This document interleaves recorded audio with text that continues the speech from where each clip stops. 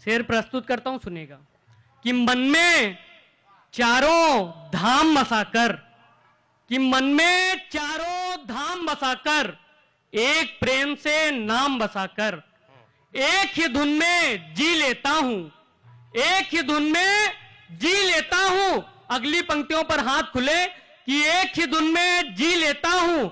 बस दिल में श्री राम बसाकर, बस दिल में श्री राम बसाकर। तो राम में माहौल है देखिए, बेटियों के सबने अलग अलग पता नहीं क्या क्या हसीनाओं के रूप बताए, सबने अलग अलग बताया। बेटियों का ये रूप नहीं है। बेटियों का मैं जो बताने वाला हूँ, वो सुनिएगा कि घर की है लाज बेटी, घर की है लाज बेटी और सर ताज बेटी।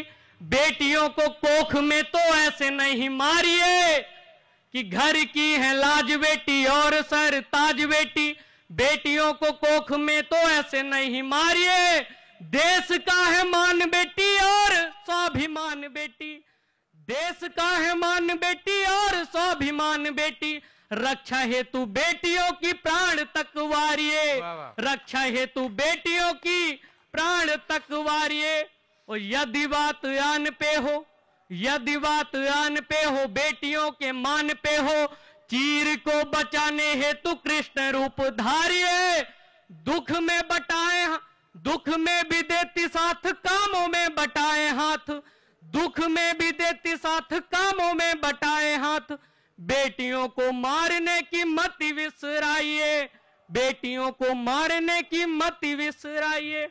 और देखिए, भगवान श्री राम के जीवन में माँ जानकी का योगदान अहम रहा है। तो वहाँ से घनाक्षरी छंद प्रस्तुत करता हूँ, सुनिएगा।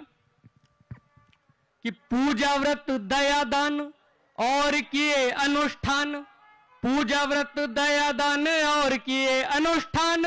राम जी की महिमा बताने लगी जानकी, राम जी की महिमा बताने लगी जानकी। एक शक्ति राम की है, दूजी हनुमान की है। एक शक्ति राम की है, दूजी हनुमान की है। तीजी शेष नाग की गिनाने लगी जानकी। तीजी शेष नाग की गिनाने लगी जानकी। महाशक्ति रूप है जो, महाशक्ति रूप हैं जो, लक्ष्मी स्वरूप है जो, नारी शक्ति रूप को बखाने लगी जानकी। रावण को क्रोध चढ़ा, रावण को क्रोध चढ़ा, जैसे माँ की ओर बढ़ा, तिनका दिखा के धमकाने लगी जानकी। तिनका दिखा के धमकाने लगी जानकी। और देखिए, मैं एक माँ जानकी पर ही मुक्तक प्रस्तुत करता हूँ सुनेगा कि राम के प्रेम को पा गई जानकी, हर खुशी छोड़कर आ गई जानकी। राम जैसे ही जंगल को जाने लगे। राम जैसे ही जंगल को जाने लगे।